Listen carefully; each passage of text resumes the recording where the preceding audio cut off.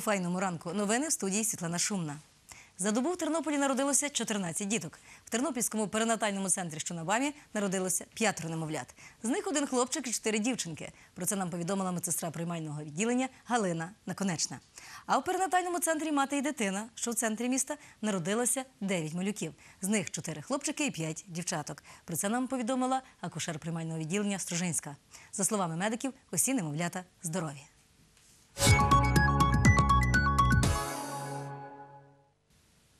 У Тернопільщині лікарі швидкої 394 рази виїжджали на виклики. В Тернополі 146, за ніч 68 разів. 24 людини в обласному центрі госпіталізували. За добу 51 людину. У першій ночі у селі Мишковичі медики надавали допомогу 19-річному хлопцеві, якого побили. У нього струс головного мозку, перелом основи черепа. Його доставили у Тернопільську обласну лікарню. Також на вулиці Живова о 23-й годині невідомі побили 22-річну вагітну жінку. Вона госпіталізована до Тернопільської комунальної міської лікарні номер 2 Про це повідомила старший лікар швидкої допомоги Вікторія Андріуці.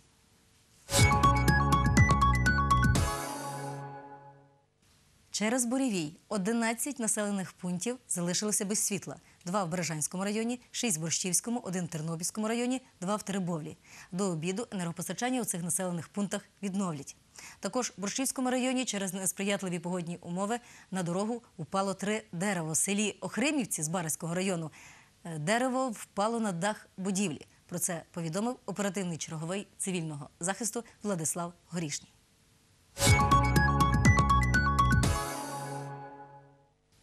Повідомляємо, що у зв'язку з ремонтними роботами не буде електропостачання в окремих будинках Тернополя, а саме з 9 до 12 години за адресою вулиця В'ячеслава Чорновола, 12, 14, 17, вулиця Качали, 2, 4, 7, 9, вулиця Богдана Хмельницького від 17 до 43 будинку, вулиця Родини Барвінських, 16, 18 і вулиця Котляревського.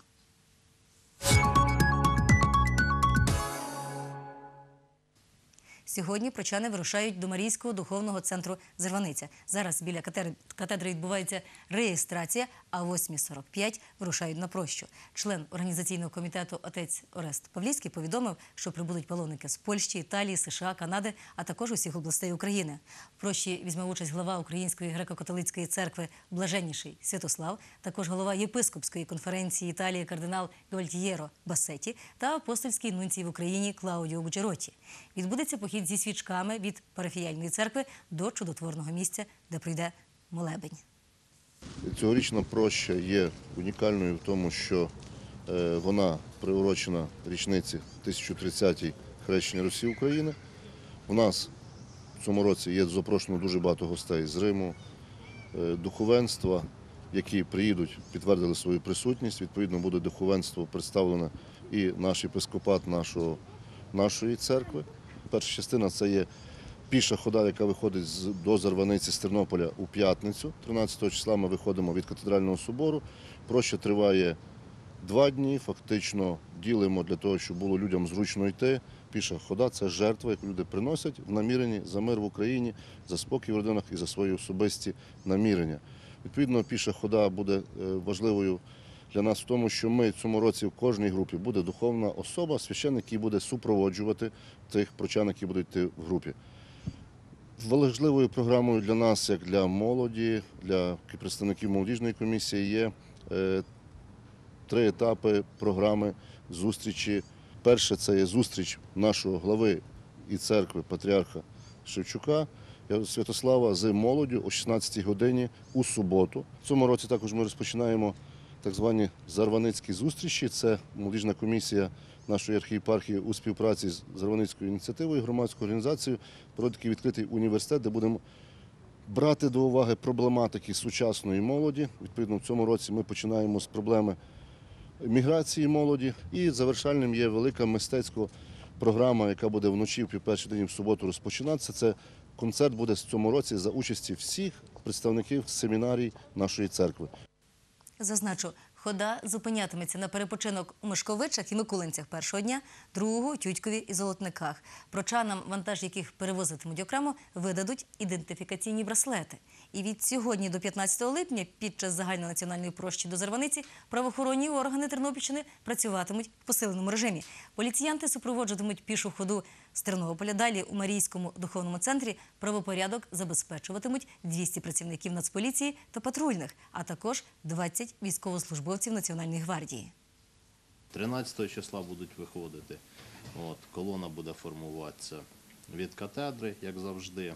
Супровід колони буде забезпечений з усіх районних центрів наших працівники поліції. Також по можливості, там, де буде організовані групи громадян, виходить, будуть забезпечувати їх безпеку під час пересування автошляхами. Бо, як правило, люди пересуваються автошляхами, автошляхами області. Значить, до забезпечення публічної порядку задіяні у нас практично, як ти казав, всі служби, це і оперативні, слідчі підрозділи, експертні підрозділи, вибухотехнічний, кінологічний. Крім того, в резерві і безпосередньо в місці е, проведення прощі нестимуть служби поліцейські підрозділів особливого призначення. Ну, Поліція Тернопільщини, як патрульна поліція управління, так і поліцейське ГУНП готові до забезпечення публічної безпеки, забезпечать її. Крім того, ми залучаємо ще військовослужбовців Національної гвардії, які також мають служби з забезпечення публічної безпеки.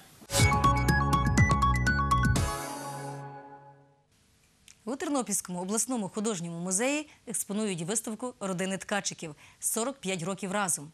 На ній представлено 35 художніх полотен народного художника України Богдана Ткачика, його дружини Ганни та доньки Соломії. На репрезентації виставки побувала Любов Гадомська.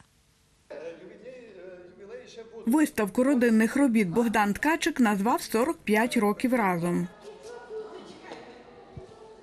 45 років саме в цей день на Петра і Павла ми з своєю дружиною побралися.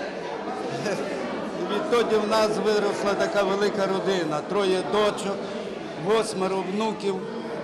Е, Серед них є внуки, які сьогодні народилися. Е, Внук Павло, йому сьогодні 12 років. Е, Моїй мамі могло бути 91 рік. Її давно вже немає, вона в кращих світах, але вона іще й до того Павліна, і вона цей день народилася. Дружина Богдана Ткачика Ганна малювати почала завдяки батькові. Я ходила 8-8 клас, тато купив мені папір великий, наклеїв його таким розчином, е, якимось клеєм, купив якісь пензлі, відкрив скриню, прибив мені е, до того віка той папір, привіз олійні фарби, пензель і дав образок і каже, малюй. Художній доробок Богдана Ганни та Соломії Ткачиків налічує майже 2,5 тисячі полотен. Щоб наша виставка починається зі створення світу і, і кінчається трипільською культурою, бо після трипільської культури вищої культури в нас не було. Серед тих, хто прийшов на виставку картин Ткачиків, письменник Богдан Мельничук. Але вони настільки творчі, настільки яскраві індивідуальності, що як ми судимо з цієї виставки, з їхніх робіт, вони абсолютно різні і цим цікаві, незважаючи на те, що вони е, поруч живуть, спілкуються, е, взаємозбагачуються, але разом з тим кожен залишається великою особистістю.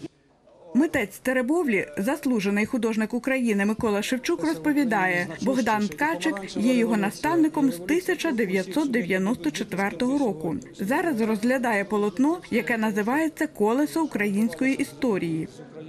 Мені якось на душі щемить, що саме на тій роботі в колесі історії він і зобразив і мене, тому що ми разом пережили на Майдані великі потрясіння в той період.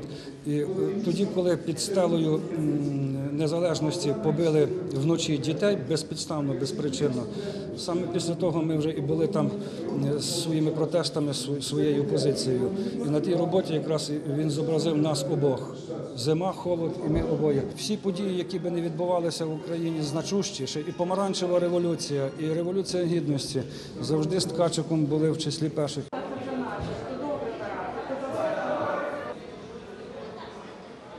Виставка картин родини Ткачиків експонуватиметься в художньому музеї до кінця цього місяця. Любов Гадомська, Оксана Галіяш. Новини. У селі Базаринці з Баризького району в неділю відкриють дитячий майданчик. На його облаштування витратили майже 230 тисяч гривень. З них 147 бюджетних і 80 тисяч спонсорських. У Базаринцях нема дитячого садочка, а дітей у селі майже 60. Тому сім'ї з малими дітьми потребували облаштування такого місця дитячого дозвілля. Майданчик змонтували за півтора місяця. Про це нам розповів базаринецький сільський голова Ігор Воркун.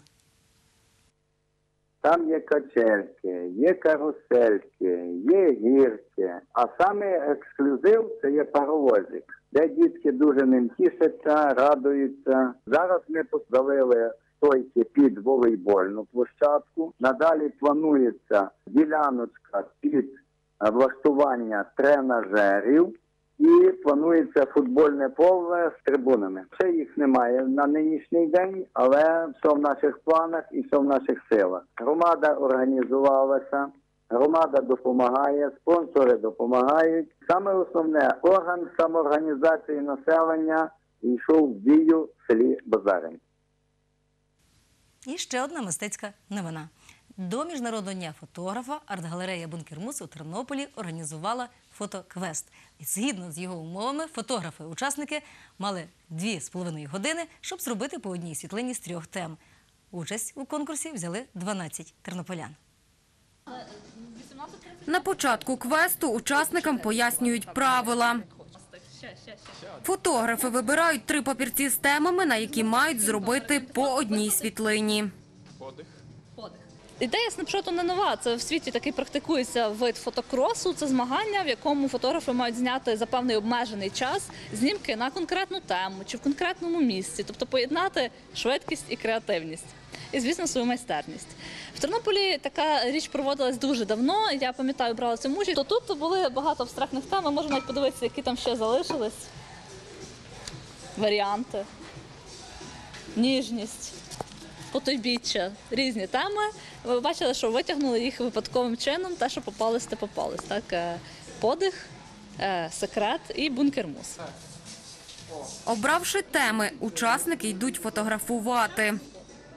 Перший раз беру участь у такому е, фотоконкурсі, і е, насправді я початківець, але я хочу розвинути свій е, навик, тому я вирішила, що це для мене буде викликом. Чому ми тут бігаємо з фотоапаратом, як на нормальній в душі? Перше беру в таких подіях участь. Дуже класно, дуже цікаво. Є декілька ідей щодо, щодо кадрів. Тому мені потрібно. Я не закликаю нікого курити. Не, не думайте. Я сам не палю і всіх закликаю не курити, але хтось мусить закурити. Тема подих, тема. Е, що там у нас було? Бункер-мус і тема е, секрет. Тому потрібно, щоб хтось закурив. А що ти нам тут скажеш? Якби не падав дощ, то типу можна було б гуляти по місту і вловити ці моменти ну без проблем. А в темному приміщенні ну це справді важкувато і не хочеться фотик е, потім викинути від дощу. Тому світ, будь ласка, допоможи, щоб дощ перестав падати. Протягом двох з половиною годин учасники фотоквесту бігають містом і фотографують на вибрані теми. Зараз ми бачимо, як вони під дощем роблять фотографії.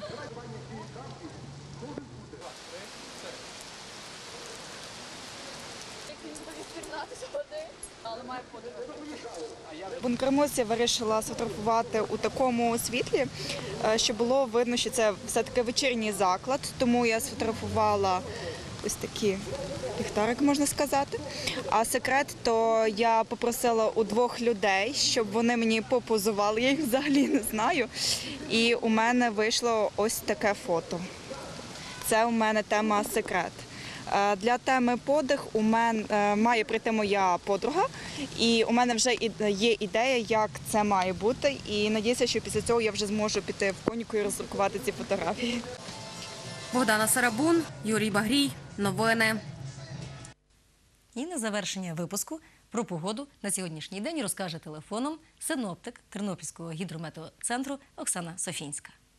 13 липня очікуються короткочасні дощі грози, в день подекуди град. Вітер західний вночі 5-10 метрів за секунду, в день поривчастий 9-14 метрів за секунду. Температурні показники нічні коливатимуться від 11 до 16 градусів тепла, в день 21-26 градусів вище нуля. Такими були події доби, ранку. У мене усе.